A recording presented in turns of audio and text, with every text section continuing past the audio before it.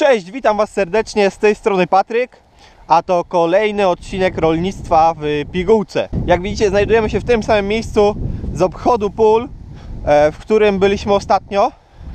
I trochę różnicy jest, co? Przyznacie?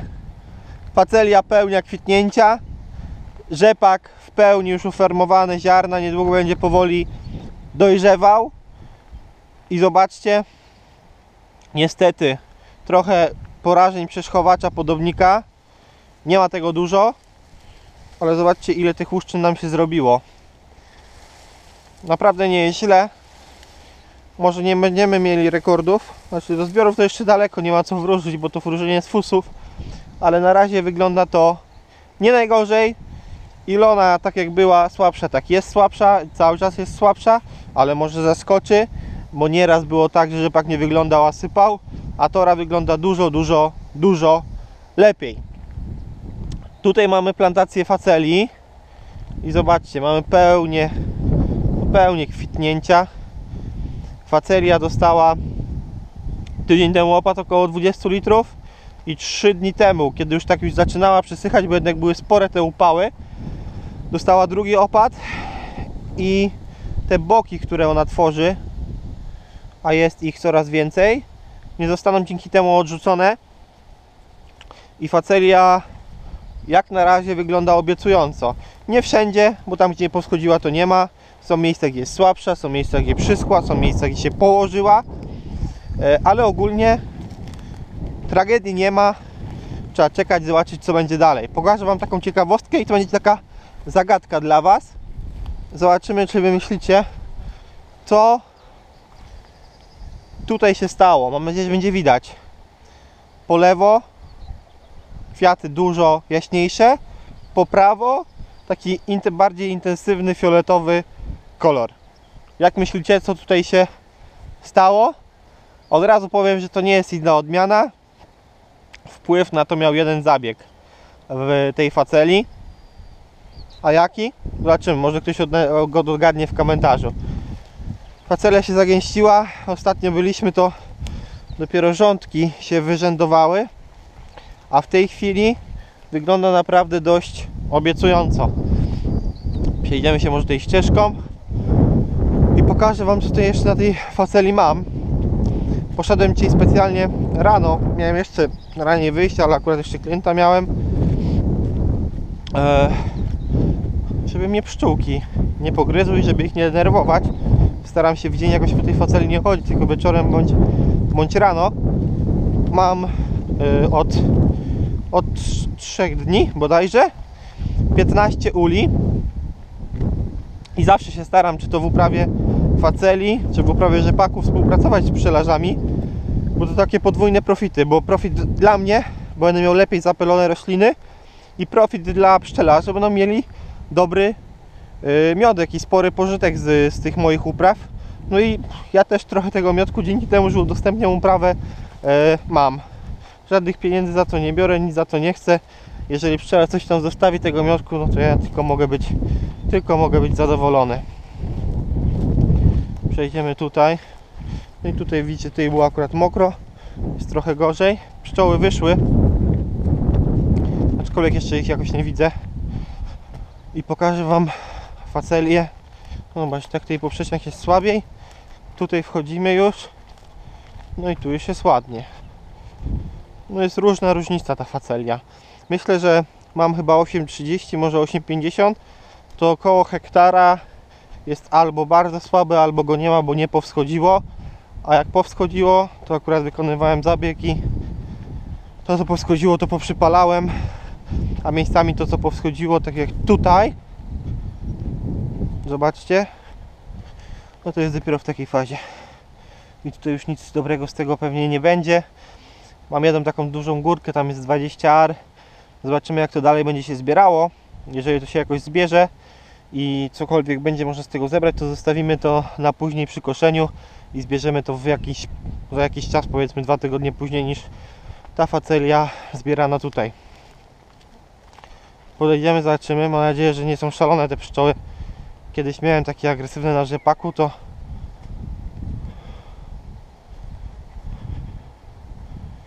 jest tego naprawdę sporo. Widzę, że te pszczoły są niestety dość agresywne. No i nie ma co tam za blisko do nich do nich podchodzić, bo nie chciałbym być jakoś pogryziony. Dobra, przejdziemy się tak bardziej dookoła. I tutaj widzicie, tutaj była ta facelia, która też tak słabiej wyglądała, ale ona tutaj jest troszkę później, ale ma też bardzo dużo tych bocznych pędów, które do, w tej chwili się tworzą. Jeszcze trochę tego kwitnięcia i trochę tych kwiatów nam, nam zrobi. Pokażę Wam tą facelię, która o, tutaj już piasek. No i jest słabiej. Tutaj zawsze jest taki okręg, gdzie jest słabiej. By tu nie rosło. No ale na to już nic nie poradzimy. Mam nadzieję, że w ogóle będzie mnie słychać, bo trochę ten wiatr zaczął wiać. Może dobrze, nie będzie tak, tak, tak ta wysoka temperatura, która jest na ten tydzień prognozowana, odczuwalna dla nas, bo ma być ponad 30 stopni. No i zobaczymy, jak te wszystkie uprawy, które w tej chwili wyglądają dobrze, poradzą sobie z tak wysokimi temperaturami. Bo w tamtym tygodniu po tych upałach, przed tym deszczem, który teraz spadł, no już było. Zaczynało się robić nieciekawie. Naprawdę nieciekawie. Zobaczymy, jak będzie teraz. Oj, te pszczoły naprawdę są, powiem Wam, nawiedzone. No ale co zrobić? One robią robotę, a ja im przeszkadzam. Także się denerwują. O, a tu jest taki ten kawałek mojej najlepszej faceli. I tutaj to jest bomba. Gdybym miał taką całą, to bym był szczęśliwy. Tak jak tutaj. Tu jest taka facelia z naprawdę fajnym, wysokim potencjałem. Ile nie wiadomo, bo facelia jest tak niepewną uprawą, że póki nie będzie na przyczepie i póki tego nie zbierzemy, nie zwieziemy, to nie ma co, co gdybać. A tutaj zobaczcie, gdzie było najlepiej. Wszystko glebło. Na szczęście nie ma tego dużo. Facelia, która się położyła, już na pewno tak sypać nie będzie, bo nie wszystkie kwiatki będą mogły być zapylone. Aczkolwiek widzę, że tutaj ona i tak dość fajnie się nam po, podnosiła i te kwiatki są dostępne dla pszczół, żeby, żeby były za, zapylone. Miejmy nadzieję, że pszczółkom się uda i zapylą, bo tutaj są te kwiatostany takie naprawdę porządne. I te rośliny takie konkretne. O, zobaczcie. Jedno, drugie, trzecie, czwarte, piąte. Sześć rozgałęzień robi nam facelia. I te kwiatostany wydają się dość długie i sporo tutaj ziarniaków być powinno. I te główne też naprawdę konkretne. I mamy gdzieś połowę, połowę przekwitnięcia głównego kwiatostanu. Gdybyśmy mieli taką facelię na całości, to bym był naprawdę szczęśliwy. No ale niestety tak dobrze nie jest. Ale tragedii nie ma. Trzeba się cieszyć z tego, co jest, bo gdyby dalej ta susza się utrzymywała, dalej by nie popadało, to dopiero wtedy byśmy mogli mieć tragedię i byśmy mogli narzekać. Są rejony w Polsce, że nie popadało, są rejony w Polsce, że popadało i to za dużo i tych, tej wody jest tak dużo, że jest problem, żeby zrobić cokolwiek w polu. Uprawy są popodtapiane, uprawy są zalane, także nie mam prawa narzekać, bo, bo nie ma na co. Jest naprawdę dobrze, jest ok. Oby tak było zawsze. Są miejsca gorsze, są miejsca lepsze, ale na moich polach, na moich mozaikach jest tak zawsze i nie ma co wymagać, że będziemy mieli całe idealne plantacje. Dzisiaj taki szybki obchód, znaczy szybki. Pewnie to i tak wyjdzie, że ten vlog będzie długi, ale pokażę Wam tylko tą facelię, ten rzepak co od początku Wam pokazałem i wilejkę, bo wilejka się wyrobiła niesamowicie i bardzo jak na tą chwilę ta pszenica mi się podoba. Zaraz dojdziemy, to zobaczycie. Tutaj zobaczcie, gdzie cień. Rośliny takie bardziej wątłe. One nie są tutaj świetne, ale cały czas mają cień od drzew i wszystko tutaj się pochyliło, przewróciło. Tutaj dalej też taka była najlepsza facelia.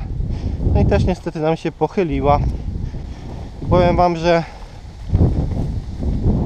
najlepszą odżywką i to chyba każdy się ze mną zgodzi, że najlepszą odżywką i nic lepiej na uprawę nie wpływa jak monotlenek diwodoru, zwany potocznie wodą. Gdyby nie woda, to najlepsze zabiegi, najlepsze biostymulatory by nam nie pomogły. Na pewno by jakoś redukowały ten stres, poprawiały tą plantację, ale tak jak woda nam nic, nic nie pomoże. I to jest taki najważniejszy czynnik naszego plonu woda. Woda nośnik wszystkiego. Bez niej niestety upraw nie będzie, plonów też fajnych nie będzie. Teraz rusza program dofinansowania na małą retencję i to ogólnie kopanie studni, kopanie zbiorników, deszczowanie. No i myślę, że każde gospodarstwo powinno się tym zainteresować. Ciekawe jak duże będą te fundusze, bo ostatnie lata pokazują, że tej wody w tych kluczowych momentach brakuje i warto móc sobie przez taką chwilę chociaż pomóc i nawodnić nasze plantacje. Tutaj widzicie wilejka.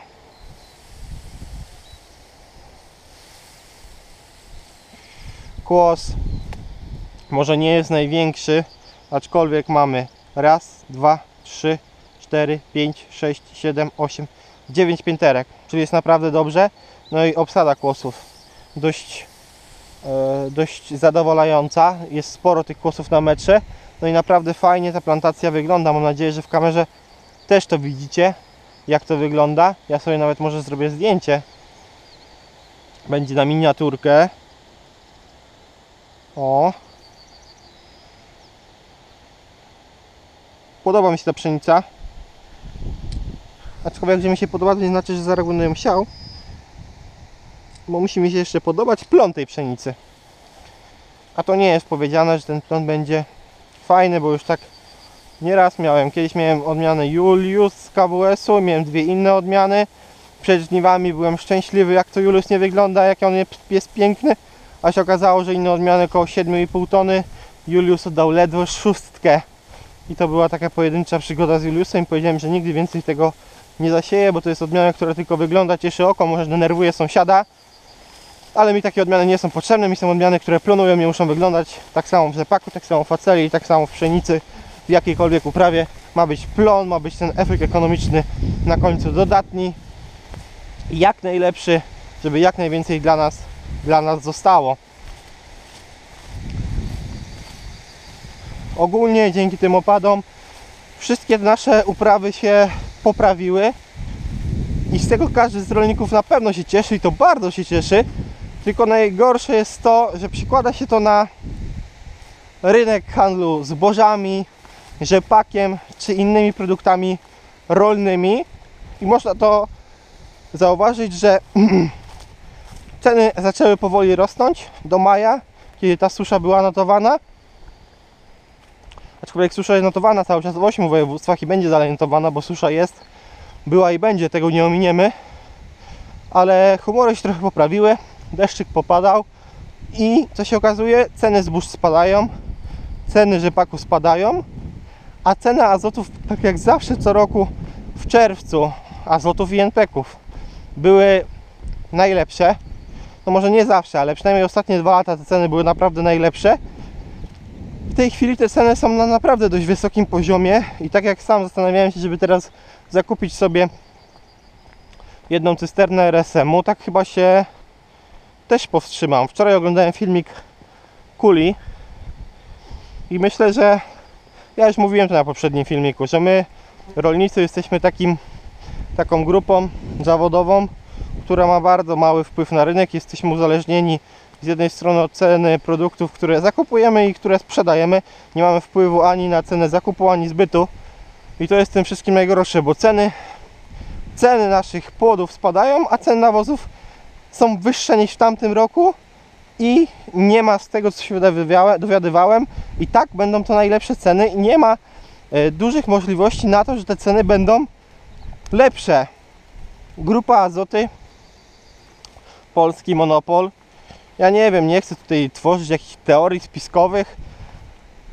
No ale niestety w tamtym roku dostaliśmy z państwa, no nie wszyscy, ale część osób dostała dofinansowanie ze względu na suszę, tak zwaną pomoc suszową. No i myślę, że gdzieś tą dziurę, która się wytworzyła, nasz rząd musi załatać. No i jak najlepiej załatać? Skoro daliśmy to rolnikom, to rolnicy nam to oddadzą.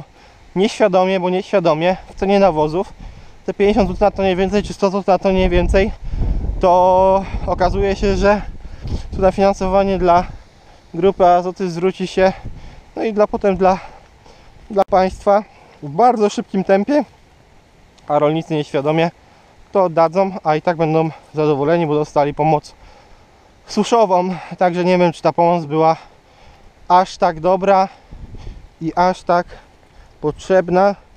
Może lepsze by były właśnie jakieś bony rabatowe na nawozy, czy na zakup paliwa, czy innych produktów potrzebnych do produkcji rolnej, bo teraz się okazuje, że to co dostaliśmy, ja sam dostałem naprawdę spory zastrzyk pieniędzy i nie będę mówił, że nie, bo dostałem i byłem bardzo zadowolony, ale widząc y, to co się teraz dzieje, to nie wiem czy, czy to dobrze.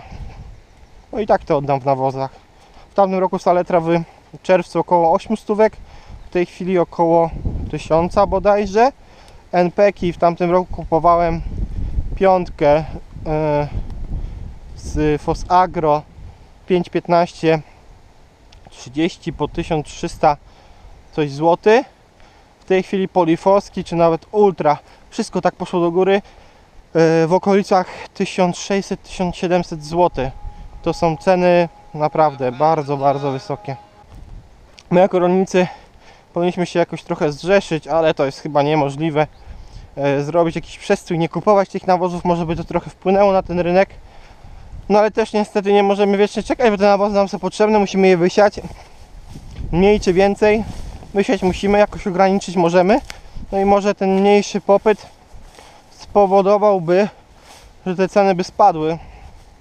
Ale tego nie wiadomo, to jest wszystko gdzieś tam na górze ustalane i my jako pojedyncze podmioty nie mamy na to żadnego wpływu. Jedynie możemy się przyglądać sytuacji. Miejmy nadzieję, że jeszcze jakieś spadki będą. Ja próbowałem coś się dowiedzieć, to podobno już jest to najlepsza cena. Czy tak będzie, zobaczymy. Może to jest taka lekka propaganda z, ze strony firm e, handlujących. Jak będzie, okaże się w najbliższym czasie. Jeżeli te ceny jakoś nie spadną, to ten współczynnik sprzedaży do zakupów będzie w tym roku na niekorzystnym poziomie. W tamtym roku pszenica była po żniwach żniwa około 80 zł i saletrę mogliśmy kupić w bardzo podobnych pieniądzach i ten przelicznik jeżeli jest 1 do 1 saletra pszenica to według mnie już jest bardzo dobry współczynnik i nie ma co się zastanawiać, tylko trzeba kupować te nawozy a jeżeli trzeba sprzedać w tej chwili prawie półtorej tony pszenicy tonę 300 na pewno żeby kupić tonę saletry, no to ten współczynnik już trochę, trochę boli, ale miejmy nadzieję, że coś, coś się poprawi. Myślę, że żniwa będą troszkę później niż w tamtym roku, porównując zdjęcia z 12 czerwca, rzepak już naprawdę miał taką barwę e, żółtawą, seledynową, seledynową, no nie wiem czy to dobry kolor, już tak właśnie przejaśniał. W tym roku jeszcze ten kolor jest dość intensywnie zielony, także kilka dni te żniwa powinny być później. Dobra, ja kończę. Ciekawe ile to wszystko trwało, ale podejrzewam, że dość długo. Kończę. No i co? Do następnego razu. Cześć, pozdrawiam, na razie.